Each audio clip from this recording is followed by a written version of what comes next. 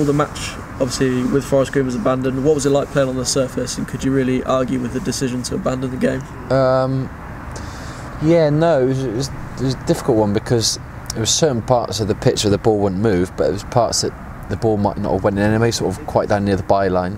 Um, but it was um, the refs like, gosh, he's got to make a decision, so that's that really.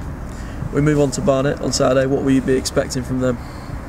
Just another tough game. Um, not many easy games, so I don't know loads about them because I didn't play in the game up there. I was injured, but um, yeah, it'll be it'll be a tough game, I'm sure. Because despite the league positions, you you have to go out and work hard to earn a result. In yeah, of course. Yeah, you know they're going to be a decent side. Um, obviously, they've got one of the best forwards in the league in Akinde. He's a very good forward. He's always caused us problems, so it'll be a tough game. And considering the recent match was abandoned, therefore we uh, a few teams have j- jumped above us. Uh, mm. How important is it to get three points and then obviously going on to Newport, getting a bit of momentum to get back up there? Yeah, well, I mean we're looking at six points in the next couple of games. Um, so it starts with with Barnet. Um, it'll be a tough game, but we've got to, we've got to be ready for it, ready for a challenge and um, get the three points.